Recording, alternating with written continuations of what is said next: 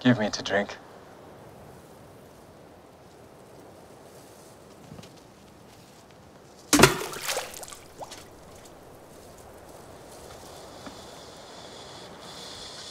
How is it that thou, a Jew, askest drink of me, which am a woman of Samaria? The Jews have no dealings with the Samaritans.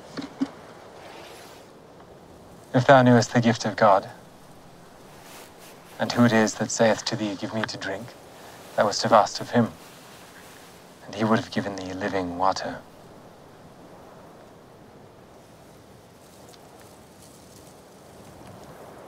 Sir, thou hast nothing to draw with. The well is deep. From whence then hast thou this living water? Art thou greater than our father Jacob,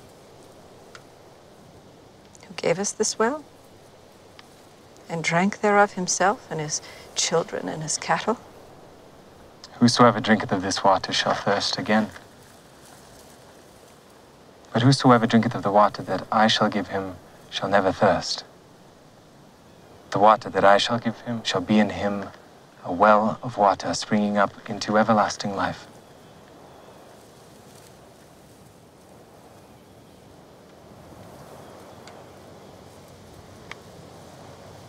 Sir, give me of this water, that I thirst not, neither come hither to draw.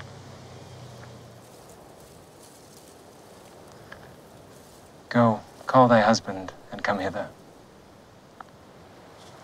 I have no husband. Thou hast well said, I have no husband. For thou hast had five husbands. Sir, I perceive that thou art a prophet.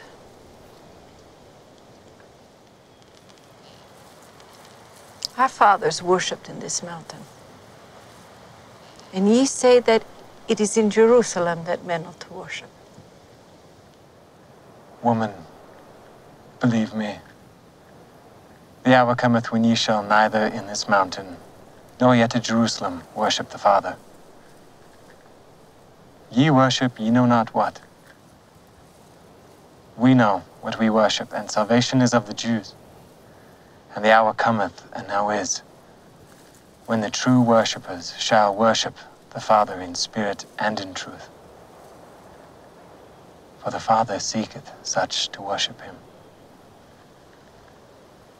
For unto such hath God promised his Spirit, and they who worship him must worship in spirit and in truth. I know that Messiah cometh, which is called Christ. And when he is come, he will tell us all things. I that speak unto thee am he.